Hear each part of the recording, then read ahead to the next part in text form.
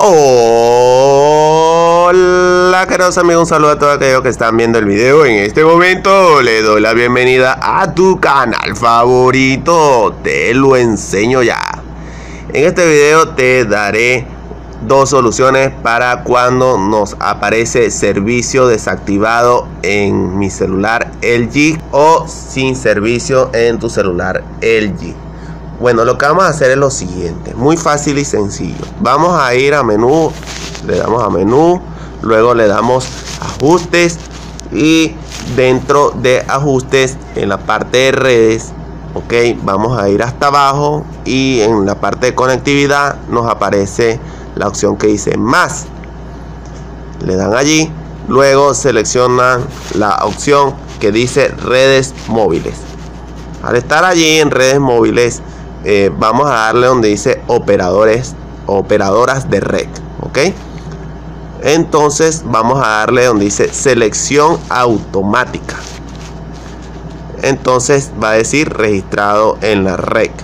De allí reinician el teléfono celular y observan para ver si eh, eh, servicio desactivado sin servicio deja de aparecer.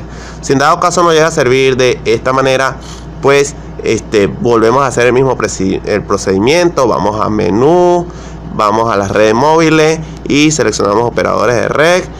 Entonces vamos a darle donde dice buscar redes. Esto es para hacerlo de, de manera manual, ya que a veces la manera automática no, no sirve. Entonces en manera manual nos va a aparecer buscando, así como estamos observando en este momento. Muchas veces este proceso nos tarda algún tiempo en buscar las redes disponibles que se encuentran por tu casa, entonces este, debemos darle chance al teléfono para que lo haga correctamente. Entonces acá nos va a aparecer todas las redes disponibles que se encuentran y vamos a seleccionar la que ustedes crean conveniente, la que sea de su operadora. Y si es de Movistar o de Claro, lo que sea, pues ustedes lo van a seleccionar manualmente y de allí luego de hacer eso reinician su teléfono celular y de esa manera estarían quitando este error.